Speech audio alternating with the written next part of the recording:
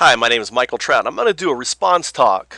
And the question is, is when to raise money for a startup. Now, before I rail on this poor VC, you gotta you gotta understand the problem is everyone has a different definition of a startup. And here's a great example of it.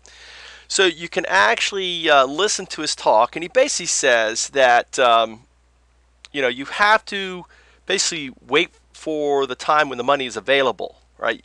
That you, you don't go after money. So basically, uh, if you get your revenue up, then you can go after funding. And he's referring to actually private placement, VC funding, and everything else.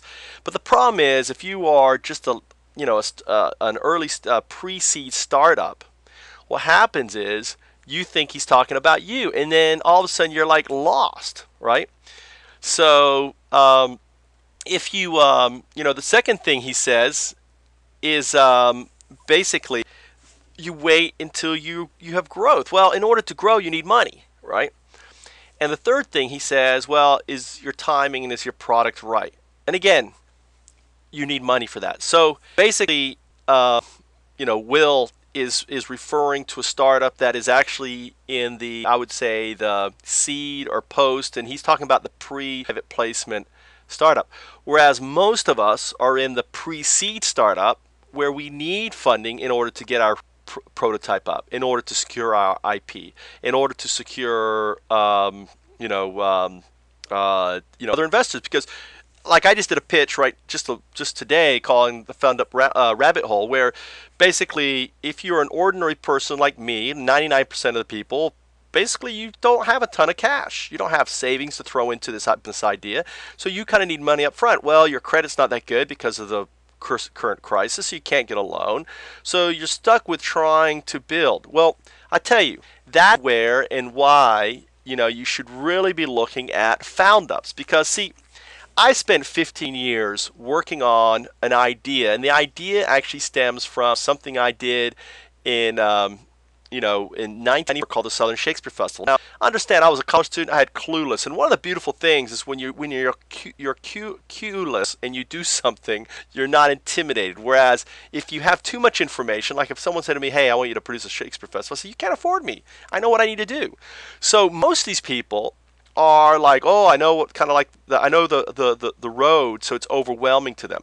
So sometimes being naive and not knowing is what's what's the best thing. So basically what what you need to look at is what we're offering and we're offering basically we teach you basically how to fish so the found up alphas we're taking 100 alphas in order to their private placement next year now i don't know how many of you are going to succeed I'm going to succeed. I'm going to go to my private placement next year.